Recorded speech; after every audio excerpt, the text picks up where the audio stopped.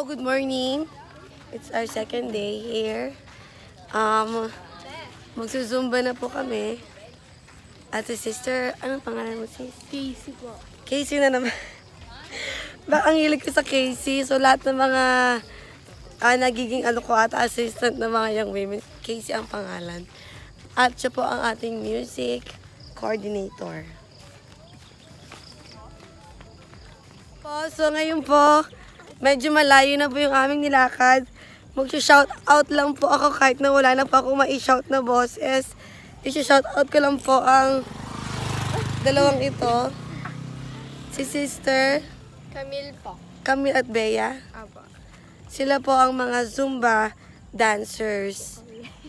Oh yeah, sabi nila. I-focus po natin sila. Sa sobrang puti po ng ano, okay? So, ayan po ang mga Zumba warriors. Don't worry, sa simula po ng video na ito, ito po ang shoutout ko kagad. Sister Bea, Camille, and Casey, shout out. Sana tumutan pa rin kayo ng activity ng mga young women kahit na SA na kayo.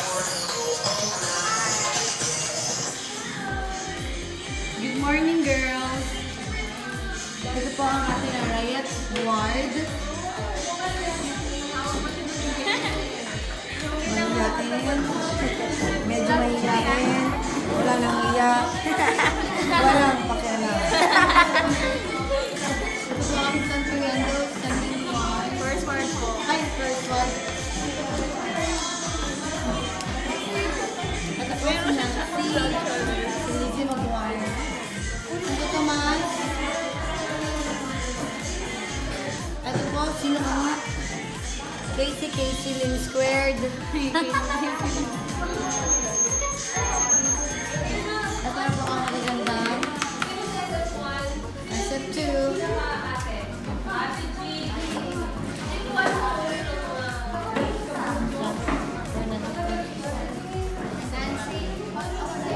Ang mga pagkakilig ko ngayon. Ito ang ating mga topics. Budgeting and drinking. Drinking alcohol.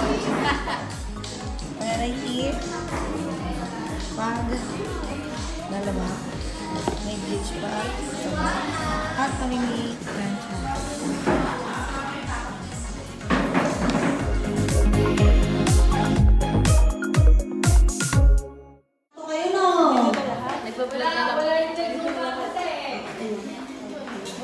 So, i-chat muna natin.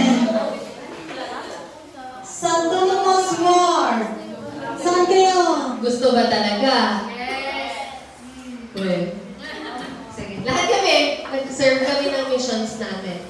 And all these skills na, well, na ano namin, mas na-enhance namin nung nasa mission kami. And syempre, sila Naila, as, as they become mothers, di ba, girls?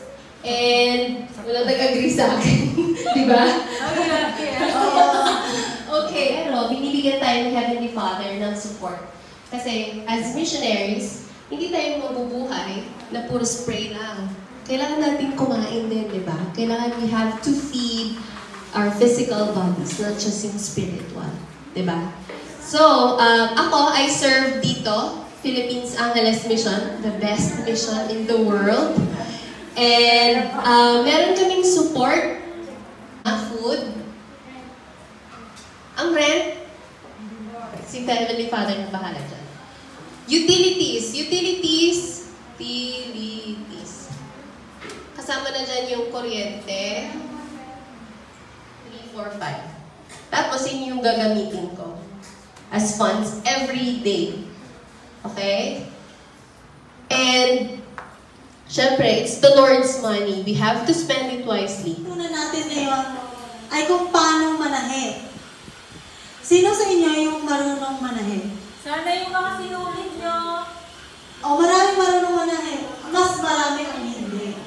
So, to start, kunin nyo yung mga sinulit ninyo at saka karayong. Sino yung may expert there? Sige. So ano, ano muna gagawin bago tayo maglaba? Isa-isa lang.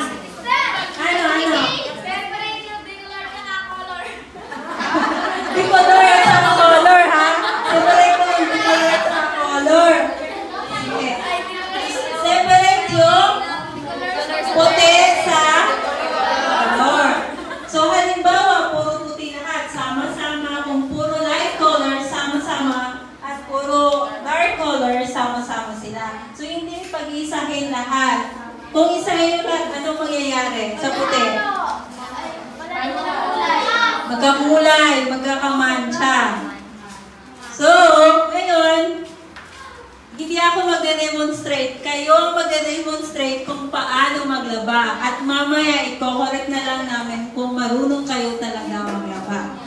So, meron, meron pa kayo dito sa bahay. Kung wala nagkakamay lang kayo, kailangan nyo to. Ako kailangan ko kasi to. Hindi ako pwede masyado magpusot kasi ah, alam niyo na, medyo sensitive yung kamay. Nagsusugat siya. So, kailangan ko talaga ng board. Sino gumagamit dito sa bahay? Tabla.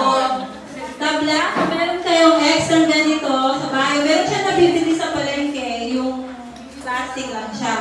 So ito, syempre, kung kailangan natin ng tabla na yan, kailangan ng brush. Kaya brush o kaya brush na isa yung may ngipin-ngipin. At sabon.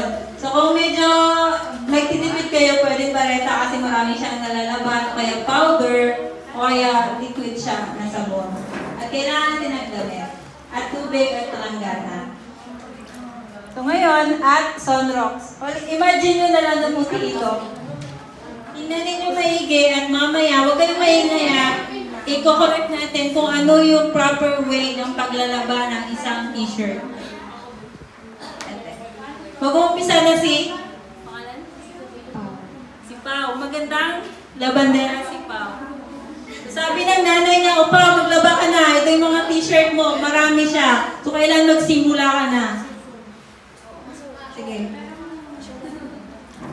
Anong una mong gawin, Pao? Ano yan? O, sige.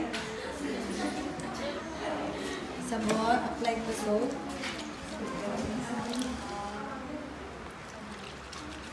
So dapat na naglalaba kayo, wala kayong mga jewelry, ha? baka may mga singsing pa kayo, may mga borloloy pa kayo dyan. Tapos, tapos ng, ano to? Sa kilikili, banda dito sa kilikili. Sunod, Yung ano yan? sa baba. Ano sa baba? Dito, dito, sa laylayan. O, lagyan mo ng sabon. Walang sabon. Oy, Magaling siya. Galing. Okay, tapos na daw. Tapos na. Sige, sunod. Santo Tomas.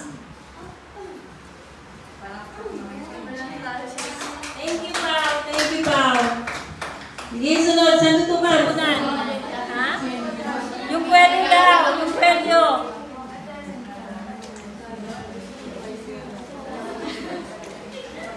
Marunong ba si ate na? Kailangan nagkukuskus yung dalawang damit. Pink yung mga damit. Oh, manggas. Paano? Anong gagawin? Huwag kayong mahiya. Tayo-tayo Alam mo, Ming, tsaka si Sister Grace, kapag naglalaba, feeling nila parang ah, hindi ka in. Oo. Alam ba ninyo na yung mga babae na marunong sa bahay, mabilis sila makapag-asawa kasi nakita ng mga lalaki masipag kayo. Masipag kayo. Alam nila, ibig sabihin na kapag asawa tayo, tagalaba tayo. Kailangan natin yan. Kasi, syempre, sino maglalaba? Hindi tayo aasa. As members of the church, tinuturuan tayo maging self-reliant. So, hindi tayo aasa sa parents natin na, ma, wala na akong panty, ma, wala na akong t-shirt. So, kaya, so ano yung unang gagawin mo? Hindi niya aram gagawin. Sige, Camille, gawin mo na. Bahala ka na. Mamaya, i-correct na lang natin kung proper way. Gusto na namin makita kung paano mo. Hindi, kaya mo yan, Ate Camille. Na. Ano gagawin mo? Kunin mo sa damit, lagyan mo ng sabon.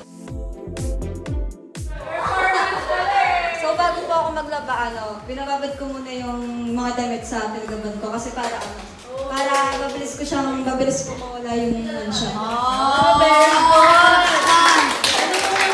Ano yung ano po, mga puti, kasi yung mga puti, sila po talaga yung namamansyahan. Kaya yun. Swerte ang nanay. Oh,